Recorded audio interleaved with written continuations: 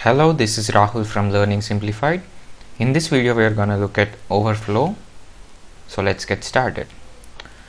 So let us see how an overflow occurs while performing an arithmetic operation in a computer and how can we detect whether there is an overflow or not. So let us consider an addition of two numbers. First of all, in this video, we will look at uh, overflow in uh, unsigned arithmetic.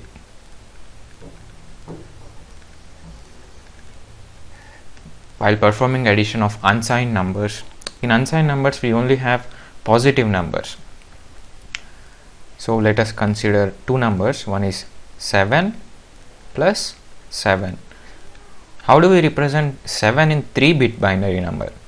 In 3 bit binary number we can represent 7 as 1, 1, 1 plus 1 1 1 now let us perform an addition. 1 plus 1 is 0 we carry a 1 forward. 1 plus 1 plus 1 is 1 we carry a 1 forward. 1 plus 1 plus 1 is 1 and we carry a 1 forward. We have a 1 here. But 7 plus 7 is 14 what did we get the result as? This is 4 this is 2 and this is 0 4 plus 2 is 6 but we want 14 but we are getting 6 if we add if we append this one here if we write a 1 then this is the correct result. This is 8 this is 4 2 8 plus 4 is 12 12 plus 4 12 plus 2 is 14 we are getting the result. So what we have to remember in unsigned arithmetic is if we have a carry from the most significant bit position then an overflow has occurred. You might ask me wh why do we need to consider this overflow? We can simply write this one here. But this is possible only on pen only using pen and paper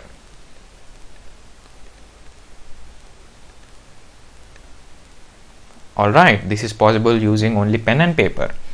But in computer the memory is fixed.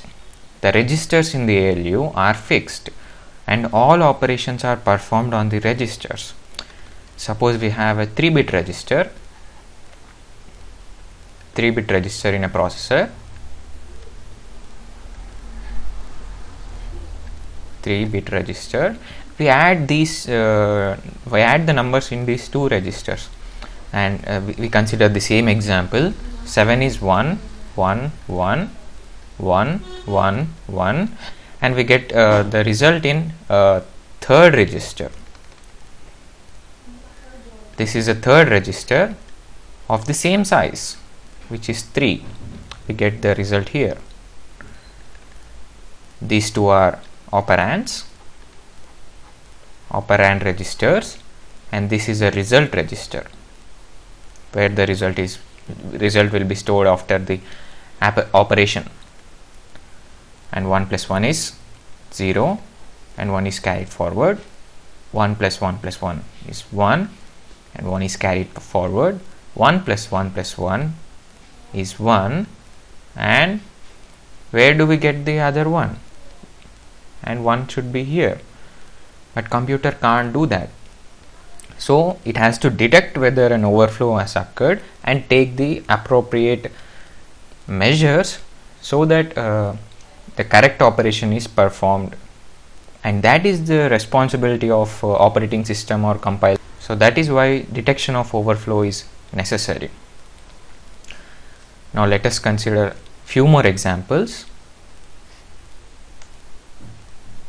Few more examples let us uh, add 14 and 14 and 2 what is the result? 16 we can write 14 in 4 bit binary number as 1 1 1 0 this is 14 because 2 plus 4 is 6 6 plus 8 is 14 we can write 2 in 4 bit uh, representation as 0 0 1 0 now we add these two numbers.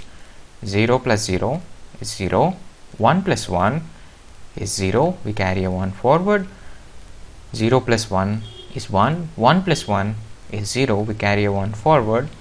0 plus 1 is 1 1 plus 1 is 0 we carry a 1 forward. This is an overflow.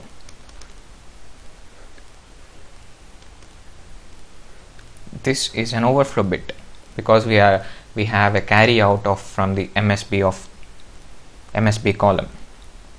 Now let us consider another example. I'm telling as many examples as possible so that you can get familiar with what overflow is. Um, consider let's say 13 plus 13 plus 6 13 plus 6 is 19 we can write 13 in binary format as this is 14 we already know. What we have to do is we have to subtract minus 1 from this. How we can do that? We write the first one first two ones as it is. This is 2 so we write a 0 here and a 1 here. And 6 we can represent 6 as 0 1 1 0 now the addition is? 1 1 1 plus 1 is 0 we carry a 1 0 plus 1 is 1 and 1 plus 1 is 0 we carry a 1 an overflow has occurred here too. Let us observe one thing in these two additions. We have we have considered a 4 bit number right? 4 bit number in this and this situation what is the range of a 4 bit number in unsigned representation? It is 0 to 2 power n minus 1 in 4 bit it is 0 to 2 power 4 minus 1 that is 0 to 15 with the, with the help of 4 bits we can represent the numbers only in this range 0 through 15 but we can look at here 14 plus 2 is 16 this is outside the range of this number. And 13 plus 6 is 19 this is also outside the range of this number.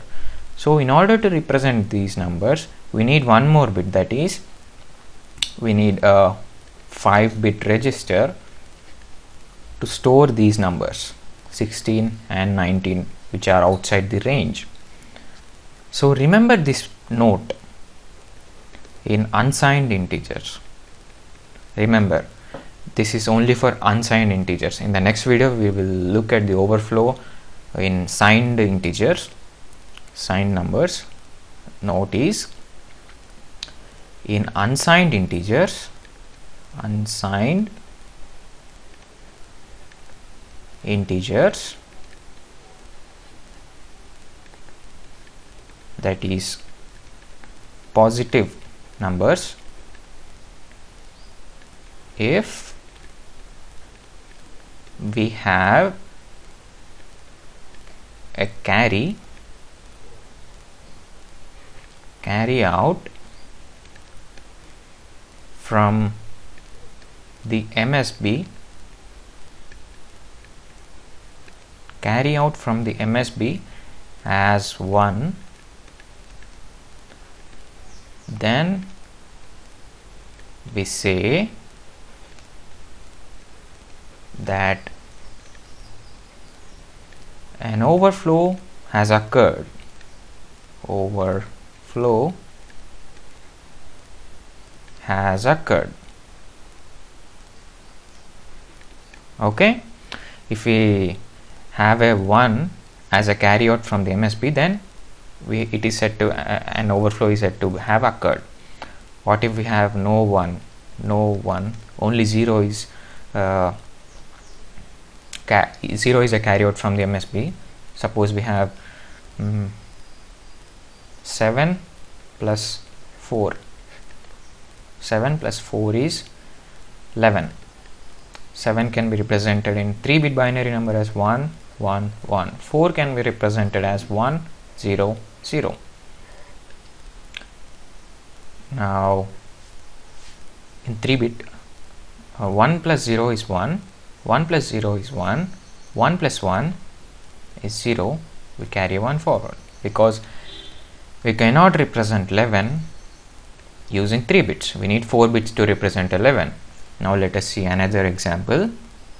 6 plus 1 7 1 1 0 0 0 1 0 plus 1 is 1 0 plus 1 is 1 0 plus 1 is 1 we don't have a carry here.